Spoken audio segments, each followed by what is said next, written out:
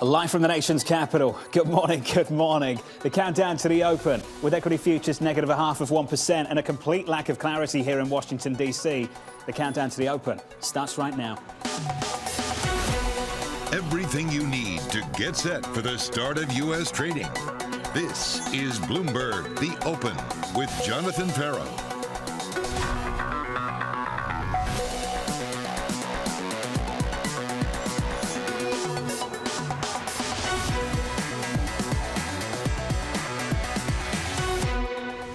Live from Washington, we begin with the big issue. Too close to call.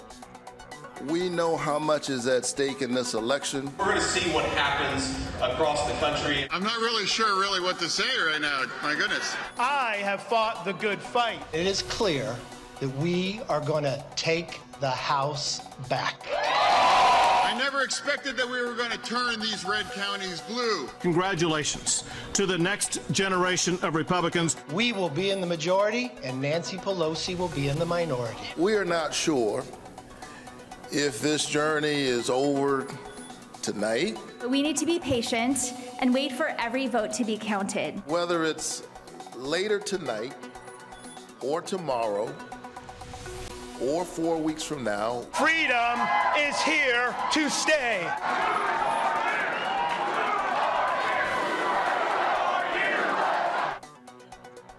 Two more years. We'll talk about that in just a moment. Team coverage begins right now with Bloomberg's Annmarie here in DC, Kailey Leinz in Philadelphia, Ed Ludlow joins us from Phoenix. Got to start with you, AMH. Not the conversation many people expected to be having this time this morning. It's certainly not. We heard that from Lindsey Graham. He said it's not a Republican wave.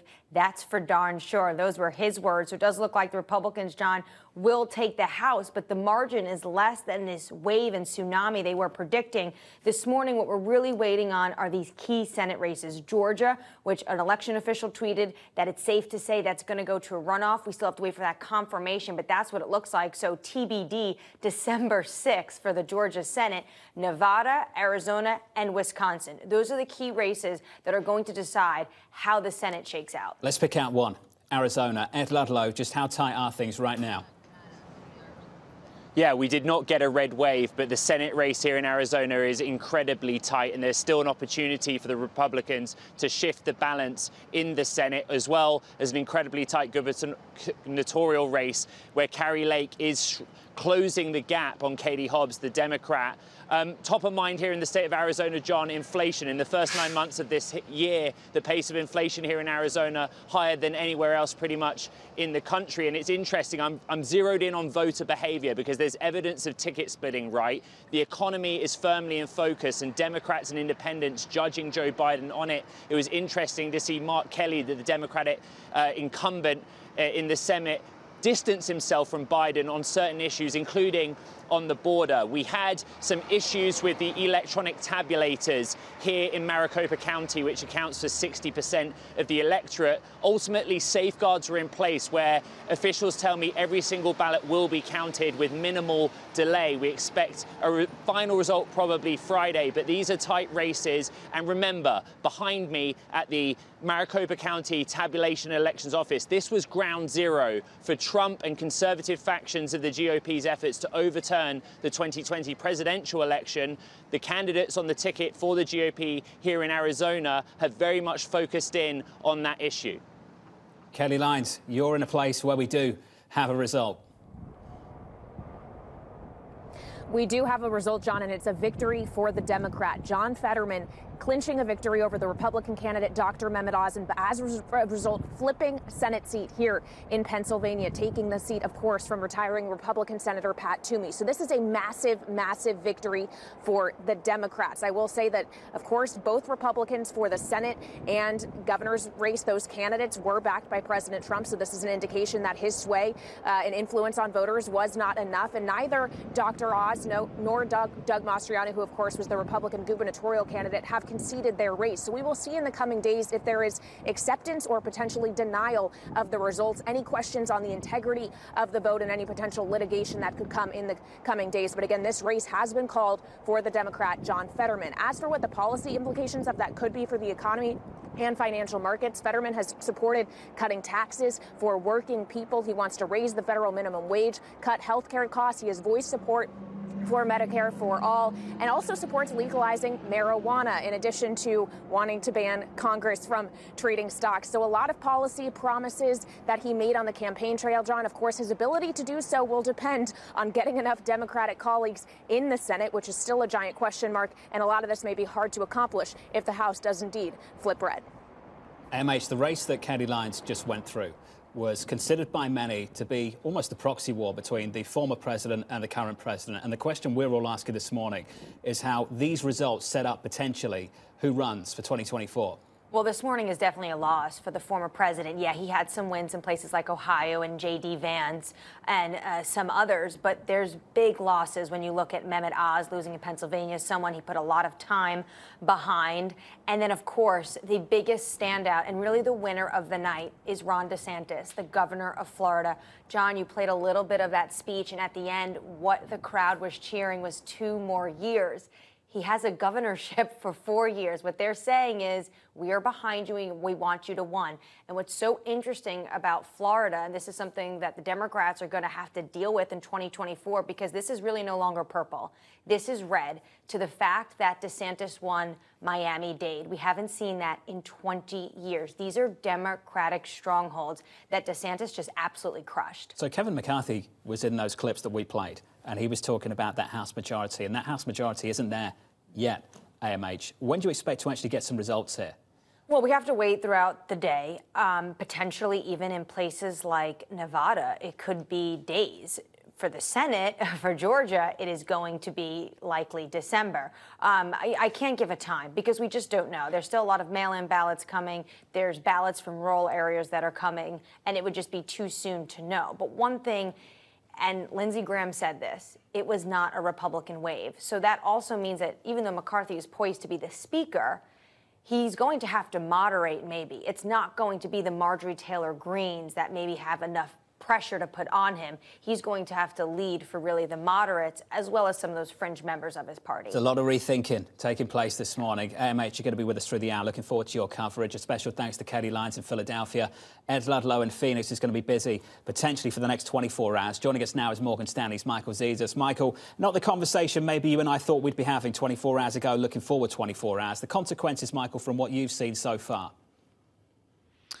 Yeah, well, listen, I think it's interesting that Democrats outperformed the expectations that were set up by the prediction markets and the polling based models. But I think we're pretty close to actually knowing what we need to know from a markets perspective, which is to say that even if uh, the Republicans get the House by a slim majority, that sets up a divided government outcome.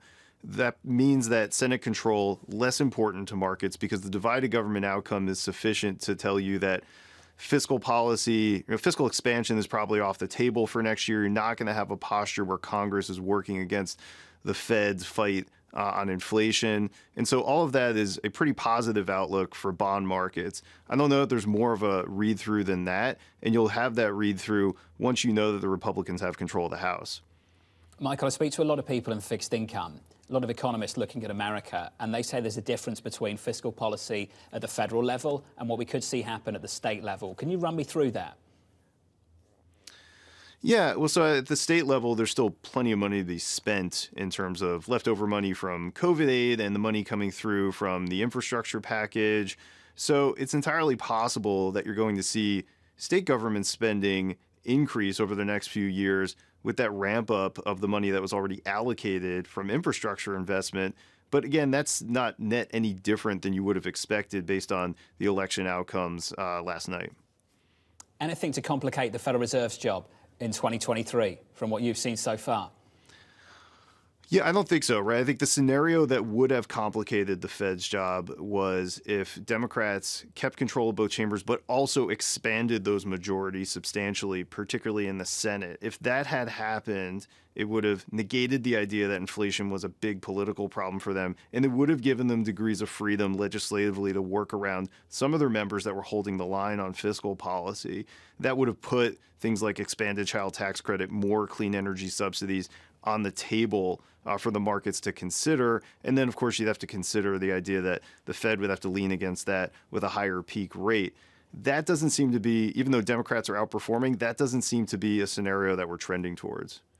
Michael, overwhelmingly in the conversations I've had, and I'm sure the conversations you've had, it's seen on Wall Street that gridlock is what we need right now. I wonder, Michael, whether gridlock is what we need 12 months from now. Do you see it as a little bit more of a complicated matter than maybe some people are giving it credit for? Yeah, I think the nuance is incredibly important, right? So if you're a bond market investor and you want to see that the Fed is successful in fighting inflation and therefore that the projection of the peak Fed funds rate isn't going to go up anymore, you like a gridlocked Congress because they're not going to intentionally or unintentionally push more fiscal stimulus into the economy. Um, beyond that, though, uh, a, a gridlock Congress situationally can pose a problem, right? So if we have a debt ceiling crisis in the midst of weak market conditions and uh, an economic downturn that is potentially worse than expectations in 2023, that's a situational risk that could be meaningful. I think that's a bit hypothetical at the moment, so it's not going to impact markets right now, but it's something we have to keep an eye on.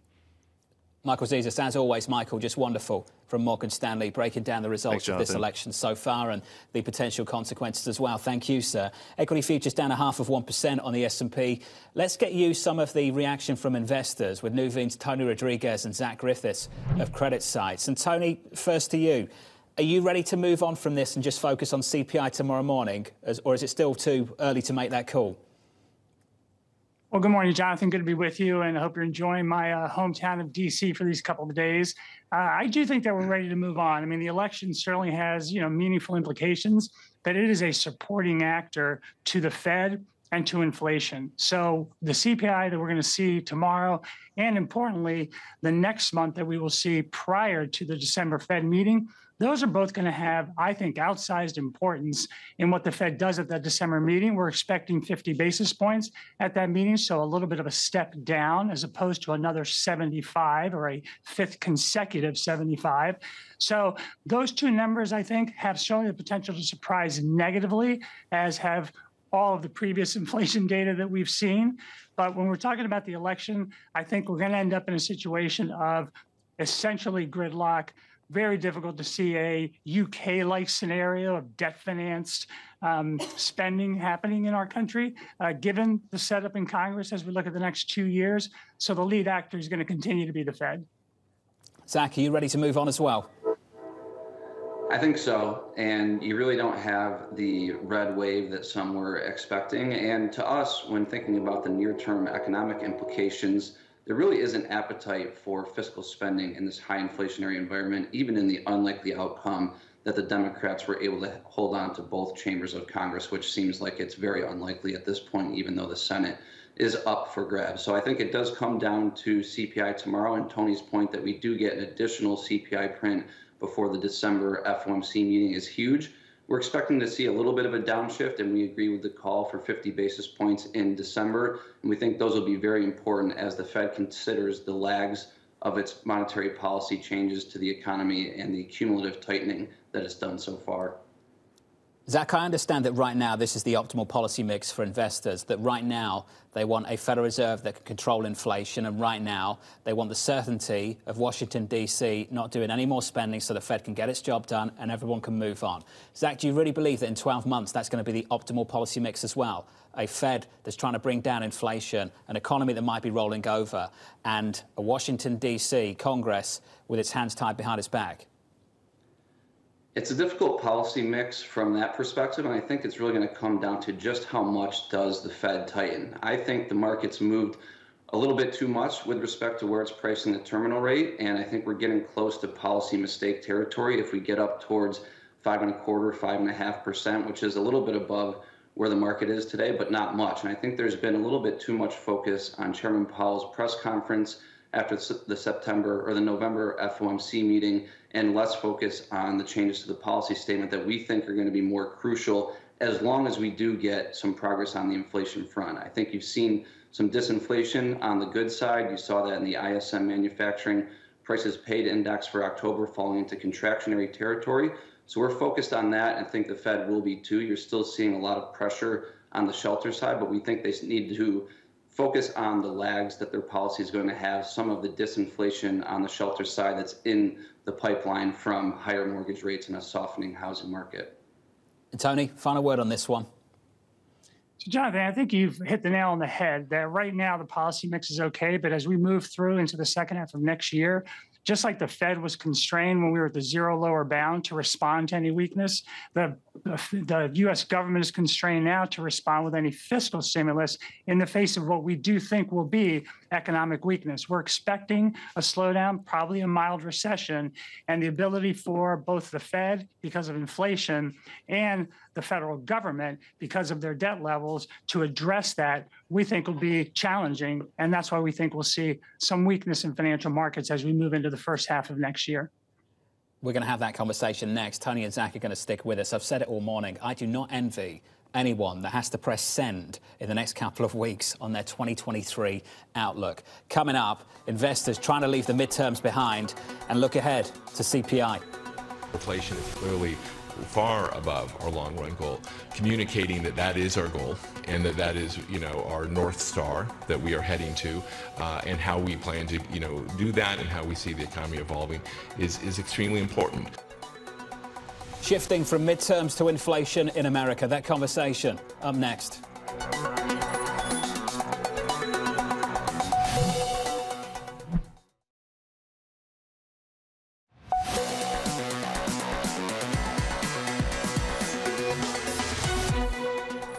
Is more important, the election or CPI? I'd rather know CPI. I'd actually like CPI for the next three months, if you can give us. The more important thing is really going to be CPI. Yeah, I agree with that. Yeah, absolutely, I do. CPI is the number one thing the Fed is focused on. The Fed is really laser focused on the inflation readings. It's going to tell us whether that December meeting is 75 or 50. The CPI number has the potential to be a much more dramatic market market movement. The inflation statistics are going to be more important than the election. Inflation still in the spotlight as election results continue rolling in. US CPI due in less than 24 hours from now. Economists looking for a little relief in core inflation in America. Mike McKee joins us now from New York. Morning, Mike. Morning, John. Well, you know, it's not entirely true that uh, the election is more important than CPI or CPI is more important than the election. Uh, the election contributes to it. Too much money chasing too few votes. You know, there was $17 billion spent on this election. So Maybe that goes away and CPI comes down a little bit. If we get the kind of numbers that you saw on the screen, that should be a little bit of good news. This is a long slog, but it does show inflation going in the right direction. The key to watch tomorrow prices for services. Supply chains seem to be normalizing quickly now. Goods price increases have been coming down. That should continue. Watch for drops in apparel as retailers clear inventory. Used cars, wholesale prices, we've talked about this a lot, have been down quite a lot, and possibly even new cars as inventories increase. On the services side, Obviously, rent and home prices are still expected to come in hot, even though private measures of those prices have dropped. It takes a long time to show up in the CPI. Bloomberg Economics thinks we'll see them crest now and really start to decline in quarter one. But health insurance costs are forecast to drop a lot as the pandemic fades. Airline fares, other travel expenses may as well. We know gasoline and food are higher, and that is an ongoing problem because it's what people see every day. But uh, the Fed can't do anything about that. So they're going to be looking at the core. You know, inflation is a lagging indicator. The Fed's never tamed inflation without rates going above the rate of inflation. Forecasts are the Fed will hit 5% in early 2023. Core inflation should fall. So that may happen at the end of the quarter. John, as the old Fed proverb says, the journey of a thousand miles to 2% target begins with a couple of decimal places. Is that right? Mike McKee, thank you, sir. Out of New York, as always, the brilliant Michael McKee. Back with us, Tony Rodriguez, Zach Griffiths for some final thoughts. Tony, I'm not going to ask you your Fed guess. I'm not going to ask you where you think Fed funds peaks. I want to ask you this. We've had 400 basis points of tightening in about eight months. And I don't think we've even started to see the economic consequences of that. Tony, what does that look like in the economy, and what's that going to look like potentially in financial markets? Jonathan, you make a great point. We're really only seeing the beginning of the effects. So, obviously, the housing market, we're seeing that slow down, and there's going to be further ripple effects of that slowdown in housing. We think that we're going to see the greatest impact, I would say, second and third quarter of next year. That's when we think you'll begin to see that data that supports a mild recession in the US. There's plenty of reasons why we think we will avoid a deep recession, given the strength of the consumer going into this, the strength of corporate balance sheets going into this. But nonetheless, we are going to have economic weakness, and that's what the response is going to be driven by with respect to financial markets. So, right now, we think you'll see a reduction in 2023 earnings as we move later through the year. That will drive, we think, possibly lower equity prices. And when you talk about fixed income, we do think that you'll see some wider spreads. Right now, uh, with the recent rally, we're really pricing in, we think, too much good news, expectations for, for example, default rates being lower than what we expect them to be. So we don't think there'll be a massive washout in risk markets, but we do think you'll see better entry points as some of that economic weakness begins to look a little more clear to investors. Zach, final word.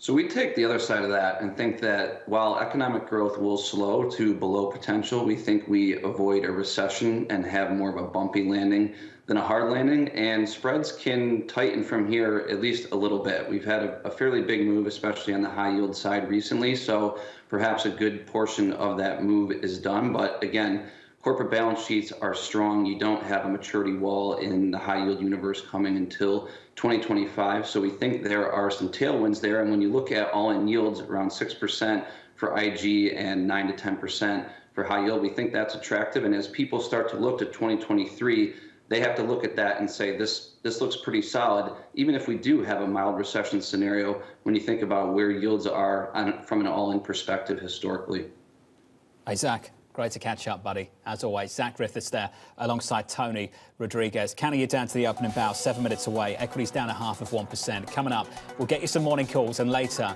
election uncertainty could fuel a volatility repricing. That's the view from RBC's Amy Wu Silverman. She'll join us around the opening bow in just a moment.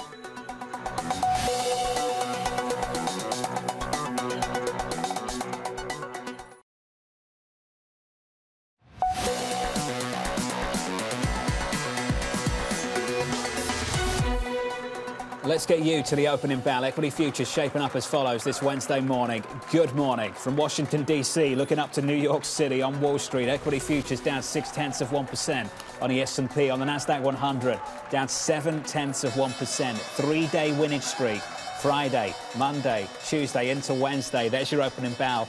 Can we try and make it four? Switch up the board and get to the bond market. Going into CPI tomorrow, we look a little something like this in a bond market. Yields higher by four basis points on a 10 year, 416 on a 10 year yield. A bit of dollar strength out there. Euro weakness, euro dollar hugging, parity tight, trying to hold on. 100.24 euro dollar negative a half of 1%. And crude from the 90s back to the 80s, 87.70 on WTI. We're down about 1.36%. Seconds into this, slightly softer in the equity market. Control of Congress here in Washington still up for grabs. Investors holding out hope for one outcome having a little bit of divided government in, in the US is a positive for markets. The market wants to have essentially policy gridlock. We like gridlock because it gives us certainty. Historically, people viewed that as a positive. It doesn't mean that there's not going to be disruptions. The market doesn't want any more fiscal spending. We've already had a, a you know gridlock for, for all practical purposes. We don't think that there'll be durable implications from uh, the midterm elections. It's going to help put some upward boost on the equity market. Equities have actually taken quite a bit of relief already. Taylor Riggs joins us now for more. Hey, Taylor. John, that soundbite really wraps it up nicely. When you think about, according to our MLIV survey polls, what markets are really looking for, and it really is sort of that gridlock that is nice for equity markets, knowing that you can't rush in sort of an era of fiscal policy or a bunch of new regulation. Take a look at this. Professional investors on a desired election result, 48% like a total House and Senate um, all Republican. Split Congress is next, and then Democratic, of course, on both the House and the Senate is just the lowest at 18%. Again, given that you don't have the checks and balances with a Democratic president underway. The market reaction would also prove a similar story. This is looking at S&P 500 performance uh, annually after some of these midterms. And as you see, it's sort of either all Republican or a split Congress. And that's really where markets thrive under some of these scenarios. I think what's interesting, we've been talking a lot about the markets, we've been talking a lot about the economics. Take a look at where we are with consumer confidence as well. This is Democratic minus Republican consumer confidence. Basically, when your party is in power, you feel more confident. That's really what you're starting to see here. Net uh, blue, if you will, given uh, sort of that has been the party in power so far, John. Hey, Taylor, wonderful work as always. Looking forward to the coverage of the close with Romain Bostick a little bit later on this afternoon. Amy Wu Silverman of RBC expecting drawn out election results to, quote, cause a repricing around volatility due to extended uncertainty. Joining us now is Amy Wu Silverman of RBC Capital Markets. Amy, let's start there. It's a moving target, so give us your thoughts so far. So look, you know, volatility markets right now are wait and see, certainly because of CPI tomorrow, Fed speak, but we still don't really know what's happening with midterms yet. And you know, if we do see some of the runoffs that have been mentioned in the news, we we could not see until December. And you know, just as your soundbite said earlier, the markets really like uh, to lack certainty, and so to, to have certainty. So if we lack certainty, uh, you know, I think that's what keeps volatility firm, John. And can we talk about the tails? And the one tail that I don't think's really had much discussion, much attention paid to it is the potential for a blue sweep. Amy, it's still out there on the margin. What would that look like in this market? Yeah, definitely. You know, look, I, I, think just given how the results are standing right now in the House, I think that's, you know, getting slimmer and slimmer. But the fact that we've had Democrats, I think, do better than expected or Republicans do worse than expected, however you want to say it, um, you know, that was not really being priced by the market. So I think just the extension of how long this could take uh, could keep things firm. The second thing I would say is, you know, we're looking at what the outcomes are for sectors. One we focused on is industrials. And look, if we get kind of more Democrats faring better, there's downside there that we've discussed about from a sector level. And you're really getting payouts priced there right now in options. That's industrials. Let's talk about energy. One thing you said going into this is you like energy upside if Republicans fare better. Can I just challenge the premise of that? Energy's done wonderful with a Washington, D.C. dominated by Democrats. Why would Republicans help the cause? Yeah, you know, I would say first, this is on kind of a longer term basis, just regulatory wise, what implications we see. This was from a survey of all RBC analysts. Uh, and then the second thing I would say is it's also what leverage is being priced into the upside tails of options. So if we get Republicans faring better, what's interesting is when you look at the relative volatility, John, of those 110% calls about one month out, they're pricing quite attractively. And so if you kind of get incremental upside to them, you're getting more leverage on the upside of those calls, specifically in XOP and XLE. Amy, there was one call in here that takes my interest, and that could be interesting around the G20 as well. You said this I'm watching closely another tail China's rhetoric around Taiwan and recent positive rhetoric around Ukraine and Russia. A lot of people might argue this morning that the President of the United States goes to the G20 a different man after the results overnight. Amy, what do you think that might mean for the conversation around China? Yeah, it's it's really interesting because you know I think certainly uh, Bi- Biden has a boost going into the G20 right now, given where the results are. Although we don't know kind of the final results, and I think what has been interesting is when when we talk to options investors and we talk about tails, so you know very low probability events, but events that have really meaningful impacts, they all say the fact that we could get a Taiwan situation as early as 2023 as that not being priced in the markets, but you know, essentially one of the most meaningful geopolitical events for downside that we could see. and vice versa, the fact that we could get a resolution for Russia and Ukraine quicker than expected. These are not at all being priced into the markets right now. In fact, if you actually look at FXI, which is the China proxy, you're seeing the opposite, a lot of upside being played. So if that reverts quickly, again, those tails are not being priced in and are paying out extremely high. So given where we stand right now, what's the trade you'd recommend? I think given where we're seeing the data right now, the downside on XLI, we've been talking about that through put spreads. So essentially owning an at the money put and selling an out of the money put. That looks very interesting right now, given how Democrats are doing. And then, frankly, on a technical level, just given where we see that outperformance and potentially a reversion as we get into year end. Amy, thank you. And can I just say you've been brilliant on this high volatility regime over the last year. Just fantastic. Amy Wu Silverman there of RBC. We're about seven minutes into this. We're down about eight tenths of 1% on the S&P. On the NASDAQ, we're down one full percentage point. AMH, you're going to Bali. You'll be at the G20. Let's talk about it. Does the president go to the G20 a different man? He goes with a little bit more pep in his step. This team is going to have some oomph because yes, the calculus, we are still waiting for, the votes are still coming in, but it is not the red wave that many were predicted. So for him to sit down with Xi Jinping, which we were waiting for, but that's highly anticipated, this president is going to have more of a backing from the United States. It also sends a really big message to President Putin in Russia because it's the Biden administration who's been working in this multilateral approach with European partners to really put pressure on Putin and Moscow when it comes to sanctions, when it comes to aid to Ukraine. So for the Biden administration on the international stage, this is a big win. I don't know what the bilats look like next week, but let's pick out two possible ones. Let's say these are on the table, and you can be a fly on the wall of one. the President of the United States and the President of China, or the President of the United States and Chancellor Scholz. Which one would it be? That's a tough one, but I'm going to go with China. Um, kind of what Amy was just outlining there. We want to know in terms of what the discussions are now regarding Taiwan. What are the discussions of China, reg- China regarding opening up their COVID zero policy? How much is China going to play ball with the United States on things like climate, which we are reporting that there may be some discussions right now in Egypt at Sharm el Sheikh when it comes to climate and the fact that China is very upset with the United States with these broad sweeping curbs on advanced advanced technology and semiconductors. But I like how you mentioned Germany because recently Olaf Scholz made a visit flanked by the biggest corporations of Germany to China. And this was kind of a slap in the face for the United States, the timing of it. Scholz goes to China, and President Xi set to go to Riyadh. Now, square that circle for me because this is really, really complex stuff now the division between Riyadh and DC is as wide as it has been for many, many years. But we've seen these divisions, and I think what you're hearing right now from the from U.S. officials and from Saudi officials is they are starting to quell.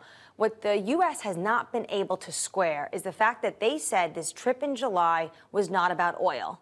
A few months later, the Saudis came out and made an oil decision based on how they viewed the market and also for their own national interests in their economy. And immediately the U.S. said, we're going to review our relationship with the Saudis. So was it about oil was it not about oil? G20 coming up next week. Annmarie's going to be there. You going to stick around?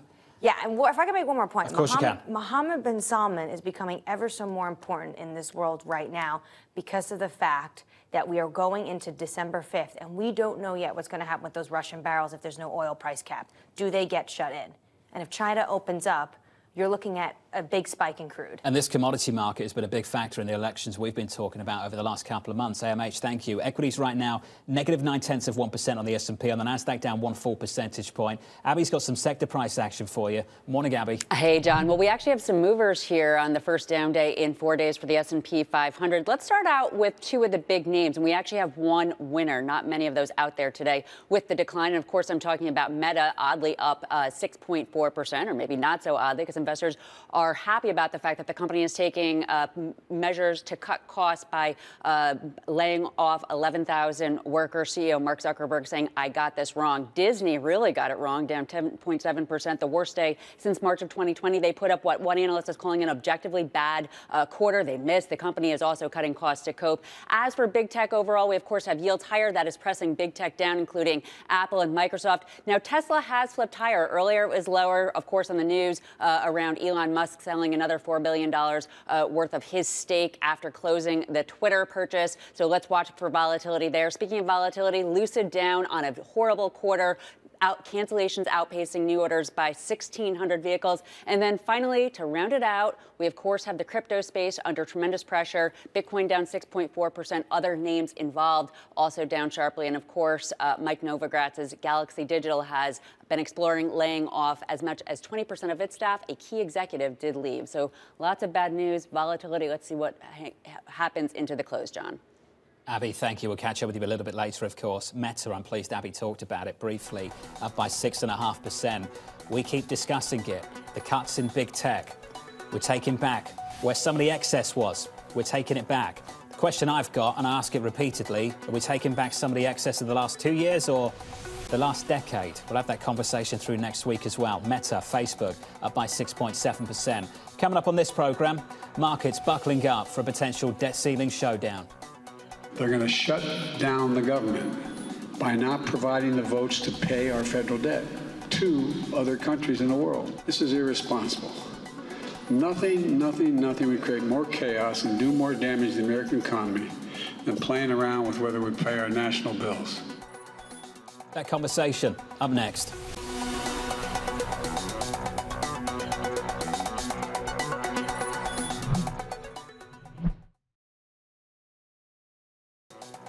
This is Bloomberg's The Open. I'm Lisa Mateo, live in the principal room. Coming up, Andy Blocher, Invesco Global Head of Public Policy. That conversation, 4.30 p.m. Eastern, 9.30 p.m. in London. This is Bloomberg.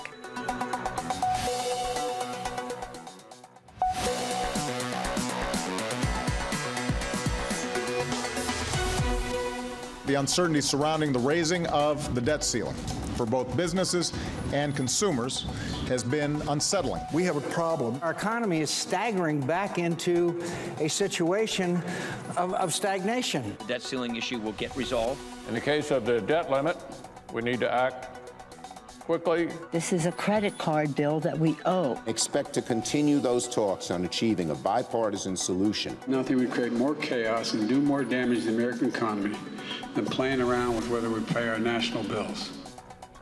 How many times have we done that? The potential return of a divided government reviving fears of a stalemate down in DC. Investors bracing for a showdown over the debt ceiling with election results still unclear and the Treasury set to hit its limit in the next year. Bloomberg's Michael McKee joins us now for more. Hey, Mike. Morning, John. Well, you guys have been talking about what's going to happen with the next Congress, but the current Congress hasn't ended yet, and they've got a lot to do between now and the end of the year. A lot of financial issues, not just the debt ceiling. Here's what's on the plate that will matter to Wall Street uh, the National Defense Authorization Act. It's passed every year for 60 years. Members like their defense money spending. That's going to pass. American Rescue Plan programs, including aid for children's food, uh, the odds are unclear there. They expire at the end of the year. Not sure if that will pass. Government funding, uh, the government runs out of money on December 16th. The odds are now that it will uh, pass, it will be extended, some sort of compromise. Debt ceiling, that's the one. Uh, now, the question here is Will Mitch McConnell let it go forward? Democrats would like to extend it in the lame duck session, so it's not an issue la- next year. Uh, McConnell let it go forward last time, and unless Democrats have, uh, Republicans have a clear control of Congress, there may not be a lot of pressure on him to hold it up and to let the debt ceiling come into uh, political con- uh, concern. So that may pass. Tax extenders need to, to go uh, away. Government shutdowns don't get noticed very much. They don't show much in terms of the uh, in terms of the overall economy. So that is probably less of an issue. As I said, uh, we'll get some sort of compromise. It's next year you want to worry about. The Inflation Reduction Act, this was going to be Obamacare for the Republicans. They wanted to gut it. Not going to happen, probably. Uh, Ukraine aid, safe for now, probably. Same with student debt forgiveness, entitlement program reforms. Uh, always waiting to see if anything will happen on that. Big one for next year, though the Trump tax cuts. They expire in 2025. Do they get extended or do your taxes go up? Mike McKee, I can't believe we're doing the debt ceiling debate all over again, but we are. Sonali Basak, I wondered whether the South Side on Wall Street would just repurpose the notes they wrote a long time ago, or whether it's truly different this time. Uh, it is different this time. And part of it was because what Michael McKee was just saying there, just how close you're getting to that debt ceiling already that is putting pressure on this debate, not into next year, but right now when you think about the lame duck session and Mitch McConnell. You know, I spoke to Charles Myers over at Signum Global, and one thing he says is that if we don't avoid this as early as the end of the year, then it's going to be very difficult anyways to try to get that done for Mitch McConnell between the Freedom Caucus, former President Trump himself, and Trump supported candidates who are going to push back. Now, I want to show you this graph here. This is between May and September of 2011 because there are a number of strategists pointing out this scenario here as the worst case scenario. 2011, you saw a 17, 18% drawdown in the S&P at that time. And that is one of the worst case scenarios. In the stock market that we've seen, that was the time the S&P had downgraded the United States. At that time, John, you did not see the crossover into treasury markets, into the dollar. But this time around, there are more vulnerabilities when you look at the treasury market into the face of quantitative tightening and uh, how much government debt is owned by sovereigns, as well as the dollar given the highs we've been riding. So there are more concerns today than there were in 2017 cross asset. Again, that is that debt limit, you know, just where we are in government debt past 31 trillion, really uh, creeping up to that limit here. So again, the conversation is happening now. You know, what does this mean for the market at the end of the day? Myers had said the overhang will last until this gets resolved. People are a little concerned at the margins of putting extra money to work with this overhang here. But of course, you have that bright side, that Morgan Stanley bright side, that a little less fiscal, stim, uh, fiscal spending could be better for the market overall if you hang through. Sonali, thank you. Over in New York City, back here in DC, Annmarie standing by. AMH, we're doing it all over again, it seems. At least that's what a lot of people are forecasting for the debt ceiling. Yep. It's a perennial question. It happens all the time in Washington, but at the end of the day, they do end up raising it. They don't want to put the fiscal health of the United States at risk. But Goldman Sachs note is interesting. What they're forecasting potentially, and remember, the votes are still coming in. We do not know the composition of the House and the Senate. But if it does look like the Republicans have the House and the Democrats keep the Senate, potentially it mirrors 2011, 2013. And it could disrupt financial markets because it could be a tough fight. But in the end, they're going to raise it. They're going to raise it. Is it different this time? We're going to keep asking that question for the next several months. AMH, stand by. I get a final thought from you when we close out the programme, when we close out the hour. Right now, equities down 8 tenths of 1% with the price action. Back with us, here's Abby. Hey, John. Well, yeah, the declines are sticking around right now on lower than uh, average volume, but we do have most sectors down, not surprisingly, with that solid decline for the S&P 500, led by energy and technology. We also have the financials lower. Energy down about 2.4%. This, of course, as oil is lower. Uh, technology, we were looking at some of those big laggards earlier earlier. You've been saying it all year. Yields up, stocks down. That's especially true for technology, consumer discretionary, another one of those mega cap tech sectors. It is also lower to the upside ever so slightly. Those defensive sectors, or at least one defensive sector, healthcare and then real estate. As for some of the individual movers beneath the surface, uh, one part of the technology weakness really has to do with the chips and the SOX. Take a look at the SOX down 1.9% after gaining nearly 10% in three days. Those declines uh, coming back in, those gains uh, being uh, moderated Nvidia down sharply, and China Tech down once again, John. Baidu down 6.3%, JD.com down 5.6%. Volatility, the name of this year, the name of the game this year, and that certainly seems to be the case today. Abby, thank you. Wonderful to have you back with us. And the equity market then down 8 tenths of 1%. Coming up, the trading diary and a final word from AMH right here in Washington, D.C. And for those of you who are terminal subscribers on the Bloomberg, take a look at this. Former State Secretary John Kerry sitting down with Bloomberg's John Micklethwait. You can catch that on the Bloomberg terminal at Live Go. From Washington, this is Bloomberg. We proved that in Glasgow, where 65% of global GDP of the largest economies in the world the 20 largest countries, 20 biggest economies.